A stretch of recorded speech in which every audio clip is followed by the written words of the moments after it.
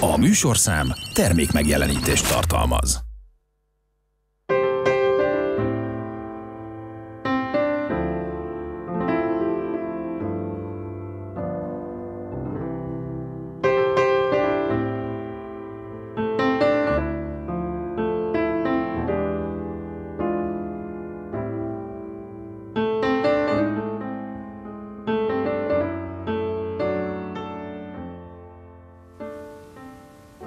Szép jó estét kívánok, köszöntöm a Fehérvári Beszélgetések nézőit. Mai vendégem Antal István, méhészmester, tisztelettel köszöntelek.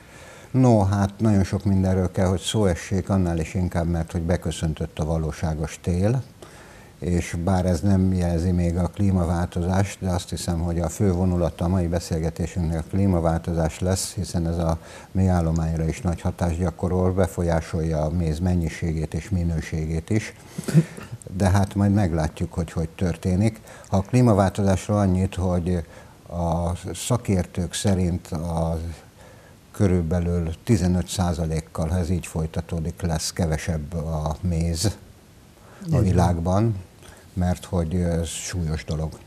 No, egy kicsit szó kell, hogy essék az Unióban özönlő olcsó silány mézekről is, amelyek kiszorítják a magyar termékeket a piacról, mert ez is egy fontos dolog.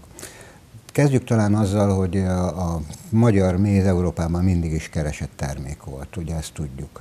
Dobogosnak számítottunk az ukrajnai háború kitöréséig.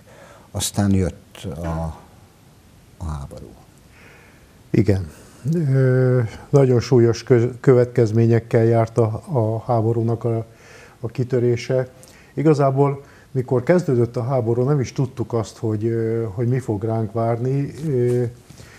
Volt egy olyan gondolata a méhészeti vezetőinknek, hogy, hogy a nagy tömegű méznek majd lesz piaca, mert, mert úgy gondoltuk, hogy ha Ukrajnában nem termelik meg azt az óriási tömegű mézet, mint amit folyamatosan termelnek, akkor majd azoknak a, azoknak a tömegmézeknek lesz piaca, amit idáig Ukrajna ter, ö, ö, közvetített az európai országok fele, és, és igazából nem ez következett be, hanem az következett be, hogy az ukrán méztermelés az ugyanúgy fent állt, és és el, el, elárasztotta az uniós országokat. Olcsó, igaz, hogy megkérdezhető minőségű mézzel, mert sajnos tudomásul kell vennünk, hogy az ukrán szabályzás az lényegesen megengedőbb, és lényegesen olyan, olyan dolgokat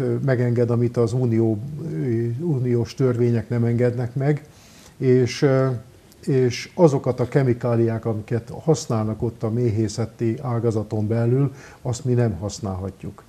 És, és ezért a méznek a beltartalmi értéke is lényegesen alatta van azoknak a mézeknek, mint amit mi tudunk piacra. Igen, bocsánat. arról már beszéltünk, hogy jó néhány tagország, tehát köztünk mi is Szlovákiával, Szerbiával együtt egy levelet felhívást juttattak el az Unióhoz, van der Leyen asszonynak, de hát ennek sok foganatja nem volt az elmúlt időszakban, annál is inkább, mert hogyha hozzátesszük, hogy az ukrán méz mellett eh, természetesen az olcsó, és én azt mondom, hogy nagyon rossz minőségű kínai méz is sújtja a termelőket, mm. akkor még eh, a problémának csak az egy részét láttuk. Hogyne és azt el tudták érni, hogy Magyarországon csak tranzitként megy át ez az óriási mennyiségű méz, de lecsapódik az unió piacán. Mm. És gyakorlatilag a cél, célállomásaink ugyanaz Ukrajnának, és ugyanaz, mint, mint Magyarországnak. Na most, hogyha ha azt vesszük, akkor, akkor egy magyar pénzben egy 450 forintos áron kerül az ukrán, ukrán méz, meg egyáltalán bármilyen méz az, az unió piacára. És ezzel az olcsó árszinttel mi nem tudunk versenyezni. Nekünk az önköltségeink majdnem duplája. Egyértelmű. És ha azt nézzük, hogy Magyarországon 17,5 ezer méhészet, 1,2 millió méhcsalád, 22,5 tonna a termelésünk, és ebből 15 ezer tonna menne külföldre, menne, mondom még egyszer, főleg Nyugat-Európába, hiszen Németország volt az egyik közkedvelt piacunk, és ez most szintén megállt, hiszen Németország is úgy döntött, hogy, hogy segíteni kívánja az ukrán Igen. háborúban sújtotta területeket. Így van, és, és Németországnak a, a beszerzése Ukrajnából a kínai méz is nagy, nagy mértékben megjelent ezeken a, ezeken a piacokon, és gyakorlatilag azok az országok, akik a legnagyobb felvevő piacaink voltak, ezek mind, mind elpártoltak tőlünk, igazából nagyon nagy mértékben, hát ugye az ár, ár érzékenység nagyon-nagyon dominál ezekben az országokban is, és, és ezeket a tömegmézeket, mert, mert ugye beszélhetünk mi nagyon jó minőségű mézről, aminek tényleg fizessék meg az árát, és, és legyen is meg az értéke, de azok a tömegmézek, amik, amik gyakorlatilag a, a mézfogyasztásnak a nagyon nagy részét adják, azok mind nagyon-nagyon alacsony árszinten áramlanak be az országba, vagy az országokba. Arról nem beszélve, hogy azért már megjelent Mexikó és Argentina. Igen. Érdeklődéssel olvastam, hogy, hogy ők is elárasztják az európai piacokat. Igen, ugyanezen, a, ugyanezen az árszinten tudják tartani ők is a, a mézüket, és, de ott is ugyanez a, ugyanaz a probléma fent áll, mint az ukránokkal, hogy a, kemik, a kemiká, kemikáliáknak a felhasználása az sokkal megengedőbb. És csak egy példát mondok, addig, ameddig a magyar méhészek, vagy az unióban termelő méhészek antibiotikumot abszolút nem használhatnak a, méheknek a, gyógyítására, vagy a, vagy a problémák megelőzésére, ami azt jelenti, hogy nulla tolerancia. És ez, ez olyan szinten, hogy, hogy érzékeltessem, ha egy kamion mézbe találnak egy molekula antibiotikumot, akkor az egy molekulát. Akkor onnantól kezdve az egész szállítmány megy, megy a, a kobzásba. Na most ez egy durva, ez egy durva ö, dolog, ezt ők, ő nekik nem kell betartani. Tehát és az exportunk az a dugába dőlt így ebben van, az esztendőben is, és ugye pedig tudjuk, hogy csak Spanyolország előzött meg bennünket, ahol viszont ugyanolyan problémák Nagyon jelentkeznek. Nagy problémák, igen. Mint Ugyan, nálunk. Így van. No, beszéljünk a klímaváltozásról, hiszen a szájkár és nagyon sok minden terhelte a, a méhész társadalmat ebben az esztendőben, mármint az elmúlt évben, hiszen furcsa volt ez az időjárás annyi szent, és hát ennek köszönhetően alig volt hárs és akácméz, illetve napraforgó méz. Hogy állunk, ha gondolom, hogy azért már valamiféle összegzést azért csináltatok? Hát tavasztól kezdve, hogyha végig, végig gondoljuk a 2023-as évet, akkor tavasztól ugye egy, egy viszonylag aszályos időszakkal indultunk bele, a, vagy csapadékszegény időszakkal indultunk bele az évbe, és legelső termékünk, ami, ami gyakorlatilag a méhész szezon elején virágzik, az a, az a repcemézünk, ő egy, egy szegényes csapadékos időszakkal indult bele, és nagyon-nagyon nehezen telelt át. A repcére még visszatérve, igazából ott még nagyon nagy problémák fognak fenn, fennállni a repce termeléssel kapcsolatban, mert a repce ez egy olyan méz volt, hogy a fogyasztás szempontjából nagyon nehéz volt értékesíteni. Ugye a magyar, magyar vevő szereti a folyékony mézet, és szereti azt, hogyha ha ő neki az a méz az olyan küllemű, amilyet ugye ő elképzel magának. Na most a repce az egy, az egy nagyon-nagyon nehezen kezelhető méz, üvegben 4-5 nap alatt bekristályosodik, és, és onnantól kezdve az emberek nem nagyon szerették fogyasztani. Aztán Hát ugye a, a méhészek, a, a velünk, velünk együttműködő kutatók, hát kiderítették, megállapították, hogy a, a, az emberi szervezetre való jótékony hatása rendkívül jó az repceméznek. És onnantól kezdve ugye az emésztőszervrendszert segíti, a, a gyomor, gyomor problémákat segíti, úgyhogy szóval igazából elfogadtattuk a vevőkkel azt, hogy, hogy a repceméz az egy jó.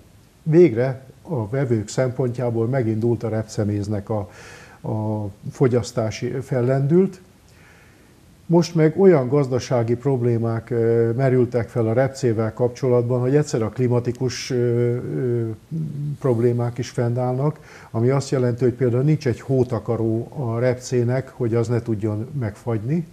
Eleve egy fagyáskárral indul bele a tavaszba. Ha a tavasz aszályos, akkor meg onnantól kezdve még nagyobb problémák állnak fenn. Aztán, ami még nagyon nagy probléma, akkor a kemikália igénye, hogy a gazdák most már évről évre nagyon nagy vagy veszteséggel, vagy nagyon picike nyereséggel tudnak termelni repcét. Belátható időn belül a repcének a termelése meg fog állni a mezőgazdasági gazdáknak a körében. E, és ez sújtja a, ez sújtja a méhészeket. méhészeket is van. mindenképpen. És na, ez az első, ami, ami igazából történt a tavalyi évben, meg hát úgy évről évre, akác. Ugye három-négy évvel ezelőtt volt az az évünk, mikor nulla akácmézünk volt Magyarországon, ami sajnos ugye a piaci körülmények, hogy a méz is bent van ebben a piaci körülményekben, hogy ha, kevés, ha sok terem, akkor kicsi az ára, ha kevés terem, akkor, akkor csillagos égben felment az ára, és azután a nulla termelési év után felment úgy az akácméznek az ára, hogy már a nagybani, a nagybani ára is ilyen 4000 forint környékén Igen. volt. Na most ez egy olyan irreális, persze mi méhészek azt mondjuk, hogy ez volna jó, de hát a felvevő piacnak is igazodni kell hozzá. És, és felment az ára. A következő évben lett egy, egy változó minőségű, változó mennyiségű akác, ami, ami már, már mutatott valamit a, a termés szempontjából, de még mindig nem volt az igazi és elfordultak tőlünk a, a vevők is az akácmés szempontjából. Mert, mert egyszerűen nem a, azok az olcsó mézek, amik beáramoltak hozzánk, vagyis az Unióba, azok, azok egyszerűen ö, olyan, árt diktáltak, hogy azt mondták, hogy ezt a magas árat nem, nem hajlandó kifizetni a, így van. a külföldi Ugyanakkor nem szabad elfelejtenünk a nagy áruházak szerepét ebben, így hiszen van. nekik ilyen értelemben így érte meg, és ő. mindenféle felirat nélkül ment a, a vegyes, van. mert hogy azért a kínai mézet összekeverték ezzel azzal. Bizony, bizony. Viszont nézzük meg egy kicsit a napraforgót, mert ugye a napraforgó méz ugyancsak, és az akác nem így, különben. Így van. A napraforgó mézzel az a probléma, hogy maga a napraforgó növény onnantól a legvitálisabb a növekedése, mikor nyáron bejönnek, bejön a nyári időszak, és hogyha ez a nyári, nyári június-júliusi időszak, ez egy aszályos időszak, már pedig, már pedig évről évre azt, azt mutatja az időjárási tendencia, hogy ez egy aszályos időszak, Onnantól kezdve a napraforgónak a méztermelése is az, asszály, az asszályjal sújtott területeken nagyon-nagyon visszaesett, és nem hozza azt a, a minőséget, meghozza csak a mennyiséget nem. Ezen kívül még vannak olyan problémák, hogy hogy a, a vetőmag, a fajta, fajta szaporítók és a fajta, te, akik a fajtákat kísérletezik ki, Igazából mindenféle szempontból vizsgálják a napraforgót, olajtermelés, asszálytűrés, meg sok-sok szempontot figyelembe vesznek, a nektár termelést azt valahogy, valahogy elhanyagolták. És jó pár olyan fajtát, fajtát alakítottak ki, hogy, hogy nem ad nektárt és ez, ez úgy szintén, úgy szintén a, a méztermelést súlyt. Ugye azt tudjuk, hogy 2000, kicsit a méhekről is beszéljünk, hogy 2029-re 17,5 százalék a magyar méhállománynak egy ilyen nagy része elpusztult, a domináns hazai fajok sem élték túl, és ez az időjárás változás nyilván Hogyne. megviseli a méheket is mi várható most? Hiszen most pont bejött, hogy jó ideig tavasz volt. Így van. most pedig pillanatokon belül körülbelül 20 fokos különbség esett. December 21-én kint voltak a méheim, és, és még egy-egy virágport is láttam a, láttam a lábukon. Hogy Tehát virágport... ez a hőmérséklet ingadozás miként hat? Ez, ez igazából a, a, a, a mérsékelt égővi európai méhek a négy évszakos kontinentális éghajlatra vannak beállva. Ami azt jelenti, hogy, hogy egyenletes téli hideg, és ősszel, ősz közepén megáll a, megáll a királynő a petézésben, és, és onnantól kezdve a méheknek egy feladatuk van áttélni a telet. És ez a, a még mindig jobb lenne az egy egyenletes mínusz 10 fokos hőmérséklet, akár heteken, heteken, hónapokon keresztül is, mint ez, a, ez az óriási nagy ingadozás, ami a hőmérsékletben megmutatkozik, mert euh, még november végén a mély családoknál fias, fias, fiasítást lehetett tapasztalni. Ami azt jelenti, hogy, hogy a méheknek a fiasítást kell nevelni. Na most ezek a telelő méhek nem erre vannak evolúciós szinten beállva, hogy ők fiasítást neveljenek, hanem ő nekik egy feladatuk van, telelni. Hőt termelni, a királynőt védeni, és, és egyáltalán a, a telet átvészelni.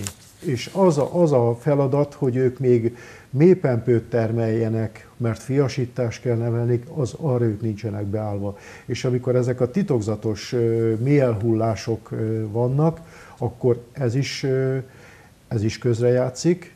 Aztán ugye van még egy nagyon nagy probléma a mélyatkának a megléte, ami ellen küzdünk, mint méhészek, és folyamatos, folyamatos harc az egész évünk a mélyatkával szemben ha egy állományban az, az nem sikerült olyan szinten leszorítani, hogy az ne okozzon problémát, akkor az is sújtja a méheket, és onnantól kezdve az elhullás az, az szinte prognosztizálható. Nagyon fontos kérdés, ugye a különböző paraziták, atkák, baktériumok. Ugye az atkákról már szó, de a, azt hiszem, hogy a, a, az enyhetél bár most pont bejött, de azért eddig nagyon jó idő volt Így van. mindannyiunknak. Ez is kárt okoz. Így van. Az emésztő, a, eleve a méheknek az emésztő szervrendszere az úgy van kialakítva, hogy azt tudni kell, hogy a, például a méhek a kaptáron belül nem ürítkeznek tavasz egész telet úgy, úgy vészelik át, hogy fogyasszák a mézet, a méznek az energiájából ők a szárnyuk rezegtetésével hőt termelnek, gyönyörűen kifűtik a kaptárt, és, és átvészelik a telet.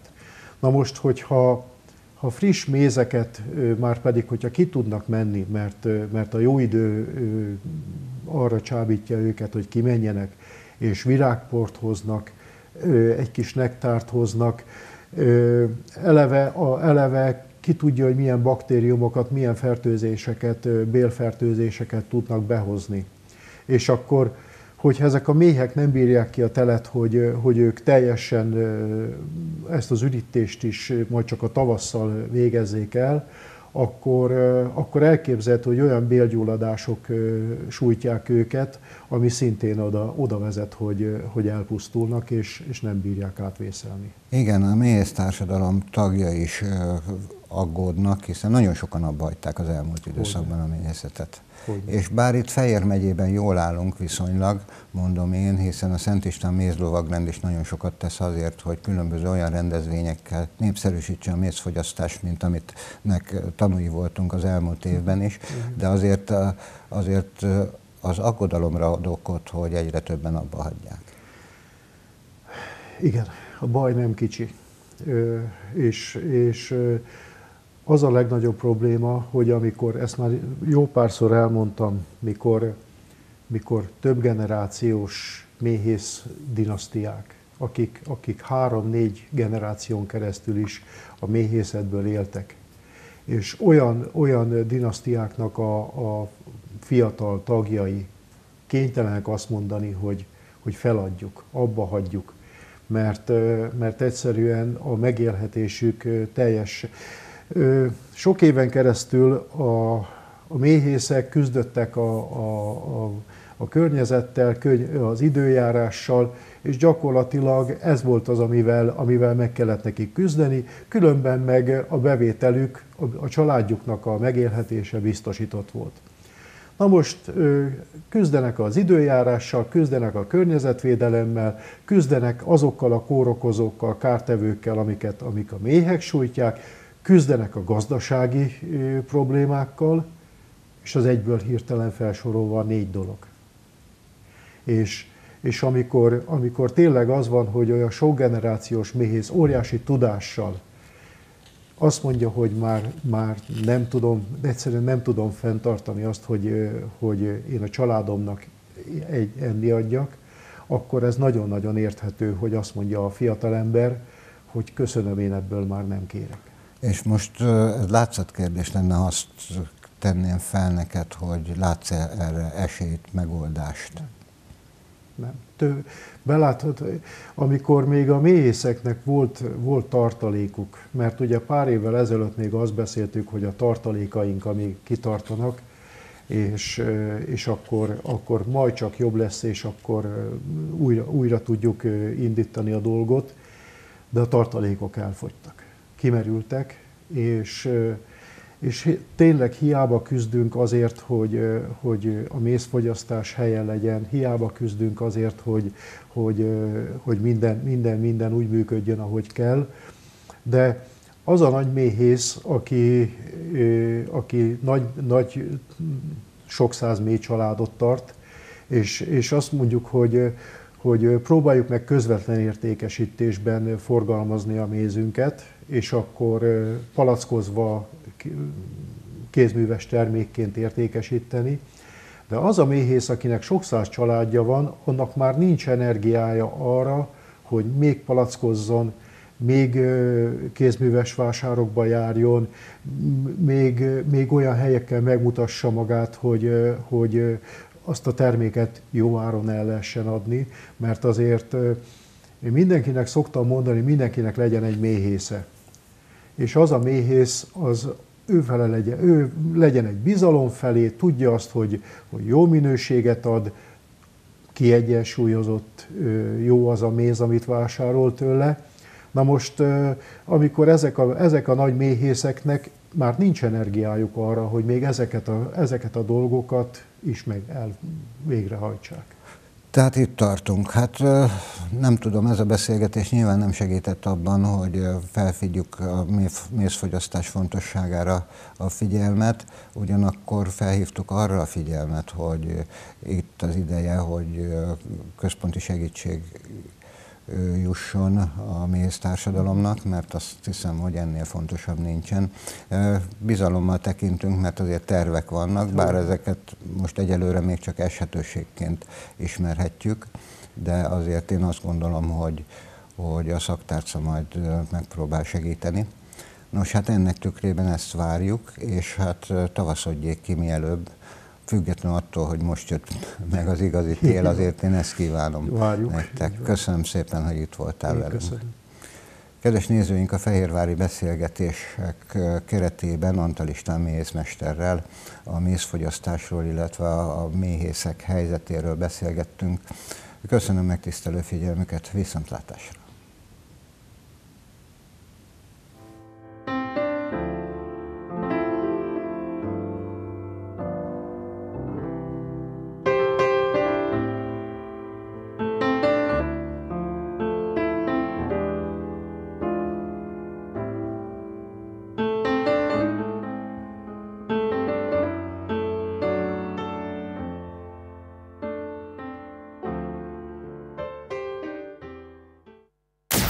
Műsorszám termék megjelenítést tartalmazott.